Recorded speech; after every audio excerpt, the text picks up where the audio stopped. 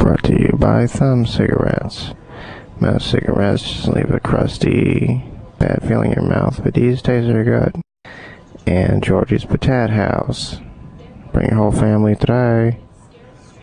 It's grease-tastic.